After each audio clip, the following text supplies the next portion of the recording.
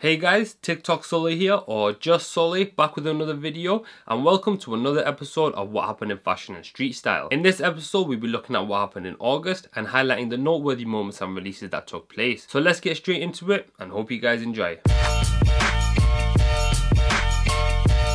Kicking it off, we start with Anna Wintour and Vogue. As at the beginning of the month, the rumours of Anna leaving the World Renowned magazine was shut down as the media company provided a statement explaining she'd be staying with the company indefinitely. The rumours of her leaving began back in July and it was something of a shock to people seeing as how long Anna has been at the head of Vogue, so the statement was awaited on. Supreme released their Fall Winter 18 collection as they followed their regular rollout of dropping a teaser followed by a preview which then led to the in-store and online release of the collection and with a handful of cool accessories, some nice heavy outerwear and even a crewneck box logo set to drop, this season is looking to be fairly stronger than the past few seasons from the skateboarding brand. Palace Skateboards also dropped their autumn range, which actually dropped about a week before Supreme, but they followed the same rollout technique in releasing a teaser followed by a preview which then led to the drop. And Palace also had a good range of outerwear that released, some technical tri-fur crewnecks and of course a handful of printed tees. You can keep up with both brands now as Supreme still have the majority of their collection yet to drop, whilst Palace's is almost fully available over on their website. Copenhagen Fashion Week also took place in August to showcase their Spring Summer 19 season. A variety of Danish brands showed their collections on the runway and some brands such as Astrid Andersen previewed their collections. Other brands such as Martin Asbjørn and Heliot Emil showed on the runway and these are just three brands coming out of Europe and Copenhagen Fashion Week that are making noise in the fashion world and are worth looking out for. But moving on to some more controversial news now, the rape charges against Vlone's ASAP Bari were dropped in August as the accuser decided not to go ahead with the case. After a controversial video of Bari and a woman in a distressing situation was uploaded to Instagram back in 2017, Bari has dealt with a lot of criticism and backlash towards him as well as his Vlone brand. The video that released was definitely shocking and of course it presented Bari in a bad light, but with only a short 15 second clip, it was hard to have an accurate outside perspective on what really happened that night, especially since the accuser and Bari had previously been friends. It wasn't as simple as claiming a rape charge as many people accused him of, and rather it really only showed Bari acting in a distasteful manner. I'm glad the case has finally been resolved and the fact that the accused didn't want to go ahead with it suggests it was resolved behind the scenes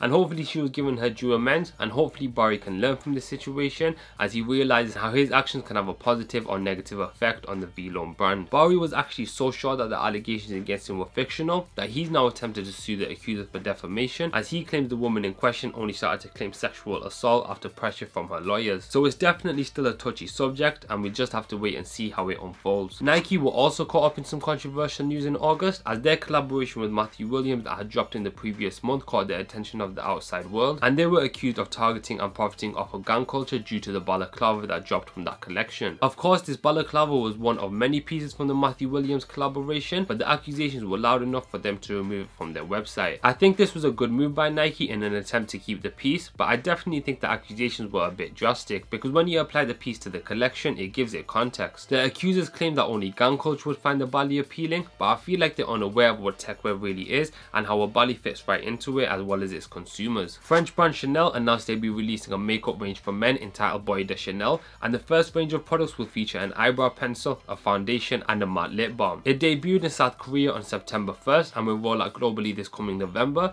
and streetwear brand Stussy also announced a new store opening in London after a flagship had been missing from the capital since its last one shut down back in 2009. The news was announced around mid-August and by August 31st the store was opening its doors for the first time. The brand celebrated by releasing some exclusive pieces at the opening and the store is now open to the public and it's located in Soho and it has a large 8 ball in the window so you'll struggle to miss it. And to round up this month I just wanted to make mention of some releases that dropped in August that I think are worth mentioning starting with Balenciaga as they dropped a $9,000 jacket from their fall winter collection which instantly had articles being written about it due to its sheer size and of course outstanding price tag. I mean we do see expensive stuff being sold regularly but I guess £9,000 was a bit too outlandish for people to just act as if it was normal. Burberry also released a heritage silk shirt which features some vintage scar prints on it as it also attempted to enter into the half and half shirt trend that other brands such as Prada are seeming to lead and Helmut Lang had a re-edition of some of their iconic pieces. A highlight of this collection was the bulletproof vest from the fall winter 97 collection which has now become iconic for the brand and is now available as a re-edition over on their website. Calvin Klein produced a second drop for their new CK established 1978 brand and kept to their all over prints whilst remaining youth orientated and Gucci produced a really really well done Paramount logo t-shirt which was more of a high-end take on youthful graphics. And finally, Italian brand Moncler released two new Moncler Genius collaborations which were with Craig Green and Valentino. In case you didn't know, Moncler recently introduced a new Moncler Genius campaign to their brand which brought on board 8 designers to reinterpret their iconic down jacket and this was done in an attempt to appeal to more customers as well as provide them with more variety when it comes to their outerwear. From this job I must say that this grey and black jacket that Craig Green did was probably my favourite out of the lot but Valentino also produced some well crafted outerwear and as you can tell an eye for detail was definitely applied to this collaboration as well. Both collaborations are now available which I'll be sure to link down below for you guys to check out in full. Moving on to sneakers now, the majority of hype drops that took place in August were from the same brands that have been dominating the footwear market both in sportswear, streetwear and high end. So let's take a look at their new variety. The first drop to kick off the August month was the Off-White Presto, which dropped in a white colour after its contrasting black counterpart dropped in the previous month. Maison Margiela also dropped again and much like Off-White, they dropped a different colourway in an already existing sneaker and this time it was the Maison Margiela Fusion sneaker which I did cover a few months back. This time the sneaker released in not one, not two, but five different colorways, still playing with its original battered look whilst implementing some very strong and trendy colors. I think all the colorways are really nice, so that's a good sign. And if you did want to gather them all, they're still going for upwards of a thousand pounds, so I'm sure you can do the math. Travis Scott also dropped a new colorway in his Air Force One that he collaborated with Nike on, this time in a sail colorway which had a slightly off-white tone to it, and unlucky for us English customers only dropped in the States. Luckily, the resale price is only half of what the original white colorways are, so obtaining this silhouette did become a lot easier. And speaking of Nike, I think they can take the highlight mention of the month as they celebrated their European one year anniversary of their sneakers app, which as you may know is where all the hype releases take place. The sportswear brand celebrated by releasing 8 hype silhouettes through their app and proposed customers to find easter egg hints to clues they had provided. Customers had to analyze hints which were located on the first page and then search through the app and to be able to access the purchase link you had to scratch random images on the app which people figured out once it was too late. So even though it was exciting, it was just another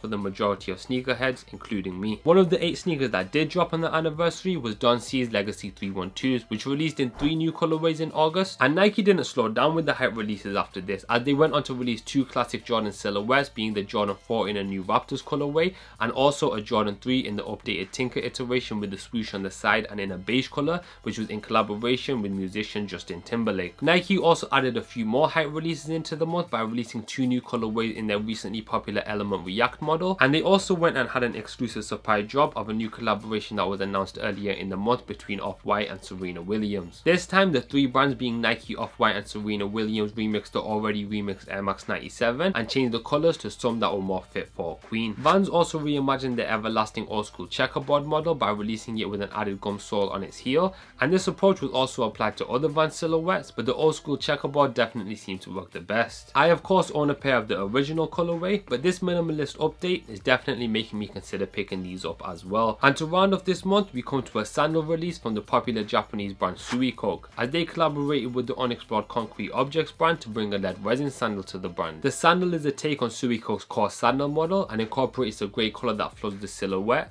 and it's made up of premium materials such as a cow leather and suede, which is the standard when it comes to Suicoke's core model. The side of the sandal has the names Joe Burns and Samuel Ross engraved in it, whom are the two creators behind the Concrete Objects brand, which gives us a little introduction to the brand and who's behind it and I'm sure we'll have more to see from the industrial brand as they begin their journey in production. And that brings me to the end of this video and the end of this episode of what happened in fashion and street style in the month of August. Let me know down below what drops or announcements you guys liked out of the month and if you did gravitate towards any in particular and I hope you guys enjoyed. If you did, don't forget to hit that like button, it always helps and is much appreciated. And if you're new here and you're interested in fashion, then you should also subscribe by clicking down over there. As I have some more videos like this on the way and I'll just allow you to stay up to date with the uploads. And I also have a playlist for new music over here, so you can check that out for all the latest music and music videos all in this one playlist. But that's all from me today. Thanks for watching and I'll catch you in the next one.